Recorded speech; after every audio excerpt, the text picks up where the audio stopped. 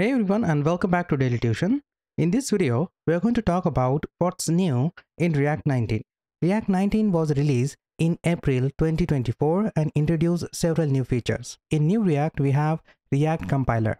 This is an experimental feature that allows compiling React code into optimized JavaScript code. This can potentially lead to a significant performance improvement, especially for complex applications. Currently, React doesn't automatically re-render on state changes. A way to optimize these re-renders is to manually use useMemo, useCallback, and memo APIs. So what's new in React compiler? A new experimental React compiler that transforms React code into optimized JavaScript code.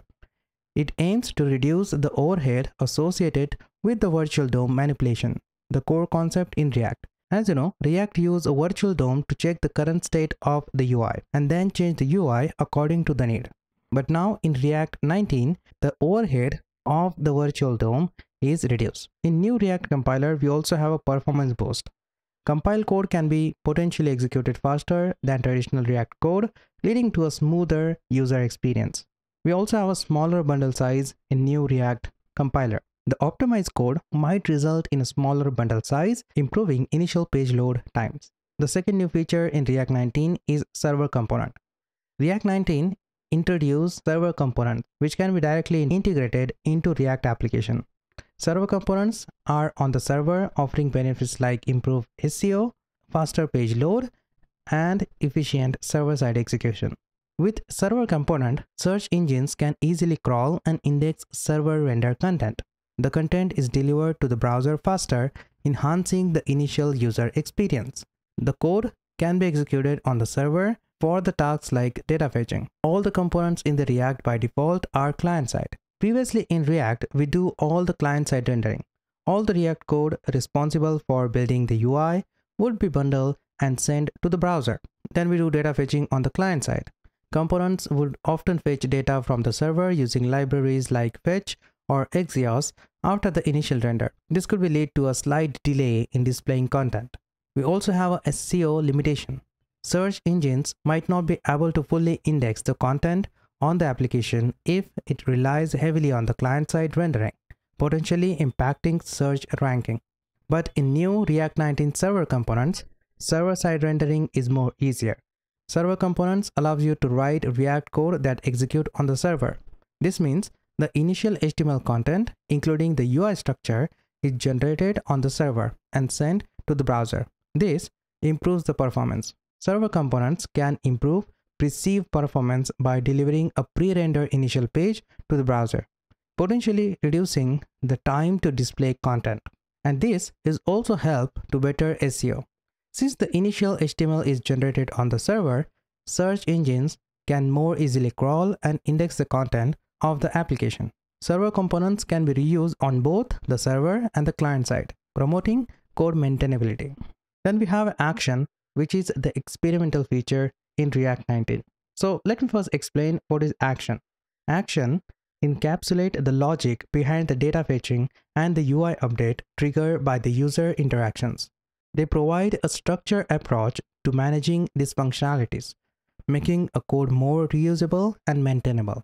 In previous React version, data fetching logic often reside within components using lifecycle methods like component did mount or useEffect.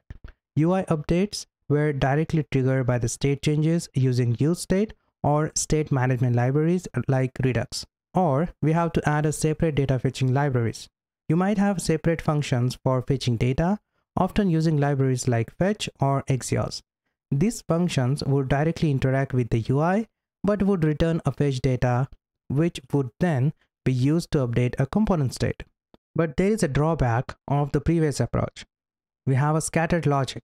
Data fetching logic would be spread across different parts of your code, making it harder to maintain and test. We also have a complex state management. With React 19, we have encapsulated logic. Actions encapsulate the logic behind the data fetching and the UI updates triggered by the user interaction. This promotes the cleaner code separation and reusability. Actions provide a structured way to handle these functionalities, improving code readability and maintainability. And we also have improved maintainability. By separating the concern It's easier to understand, test, and modify individual actions without affecting unrelated part of your code. Previously, we have the manual DOM manipulation. You would directly manipulate the DOM using libraries like React Helmet or a custom solution for inject elements like title tags, meta description, or you use third-party libraries. There are many drawbacks of using this approach. Manually manipulating the DOM could lead to errors and inconsistencies in the document head. Then we also have code repetition. Managing documents head content across multiple components could involve code duplication. And we also have an internal dependency. Relying on the third-party libraries added complex and potential maintenance overhead. React 19 introduced a new way to manage the document head using the use head hook. So let's see what is the benefit of using use head hook in React 19. Use head hook provides declarative way to manage the document head content, improving the code readability. And we also have a centralized management. You can manage document head content from within your component, keeping things organized and reducing code duplication. With use head hook eliminates the need for third-party libraries and simplifying your project setup. React 19 is still under development. So if you want to know more about React 19, I will put a link in the description so you can find more about it. If you find anything useful, make sure to press the like button, share this video with your friends, subscribe for more latest videos. I will see you in the next one.